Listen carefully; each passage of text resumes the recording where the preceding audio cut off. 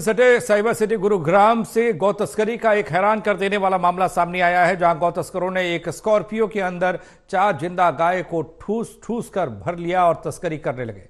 नौगरक्षकों ने जब इनका पीछा किया तो गाड़ी का टायर फटने के बाद गौ तस्कर अपनी गाड़ी को छोड़कर फरार हो गए। गाड़ी के ऊपर पुलिस के स्टिकर भी लगे हुए मिले।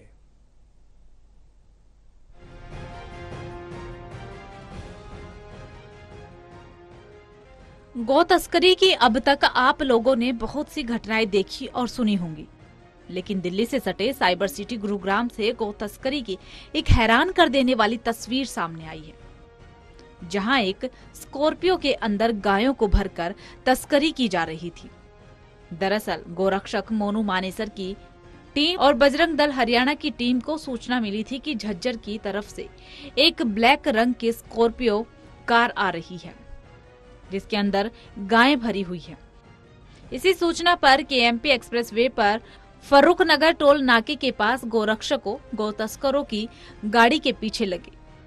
गौ तस्करों ने इस दौरान गोरक्षकों पर फायरिंग भी की, लेकिन गाड़ी को डिवाइडर पर चढ़ाते समय स्कॉर्पियो के टायर फट गए, जिस वजह से गौ तस्कर अपनी गाड़ी को बीच सड़क में छोड़कर ही अंधेरे का फ़ायदा उठाते हुए जंगल में फायरिंग करते हुए भाग गए। इसी गाड़ी के अंदर से चार ज़िंदा गायें मिली है, जबकि गाड़ी के अंदर दो गोली के खोल भी पाए गए हैं। बड़ी बात यह है कि इस गाड़ी के अगले और पिछले शीशे पर पुलिस का स्टिकर लगा हुआ है। गोरक्षकों ने कई किलोमीटर तक इन तस्करों का पीछा करके इस गाड़ी को पकड़ा। आज हमें मुखबिर खास से सूचना मिली थी कि एक स्कॉर्पियो गाड़ी, जिसका नंबर तो अभी गाड़ी के ऊपर ही है, कि ये के से होते हुए इधर गई है सांपला की तरफ़।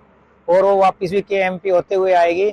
हम मुखबिर खास की सूचना मानकर हम बादली से इधर फरूखनगर टूल पे खड़े हो गए। करीब करीब दो बजे के बाद ये गाड़ी आती दिखाई दी।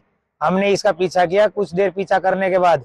इन्होंने डिवाइडर खुदाने की कोशिश की। जैसे डिवाइडर खुदाने की कोशिश की तो गाड़ी का एक टायर फट गया। उसके बाद इन्होंने गोलियाँ वगैरह चलाई हैं। कुछ अंधेरे का मौका फ़ायदा, अंधेरे का मौका देखकर तस्कर भागने में कामयाब हो गए। गाड़ी के अंदर तीन से चार गाय हैं। घटना की जानकारी तुरंत गुरुग्राम पुलिस को दी गई, जिसके बाद डायल 112 के साथ साथ फरूख नगर पुलिस स्टेशन से भी एक टीम मौके पर पहुँची। पुलिस ने गोली के खोल को अपने कब्जे में ले लिया और गाड़ी में भरी गई ज़िंदा गायों को गौशाला भिजवाया गया। पुलिस अब अज्ञात के खिलाफ केस दर्ज करके पूरे मामले की जाँच कर रही है। आज कंट्रोल रूम दो सौ तिरपन द्वारा सूचना मिली की एक स्कॉर्पियो गाड़ी में गाय पकड़ी हुई है।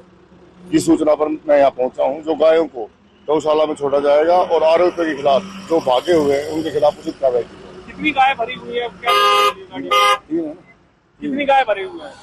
तीन गाय भरी हुई आरोपी भाग गए आरोपी भाग चुके हैं। गुरुग्राम से आई गौ तस्करी की तस्वीरें वाकई हैरान कर देने वाली है कि हरियाणा में गौ हत्या और तस्करी पर कानून प्रतिबंध है। और बावजूद गौ तस्कर पुलिस के स्टिकर लगाकर सरेआम गौ तस्करी की वारदातों को अंजाम दे रही हैं।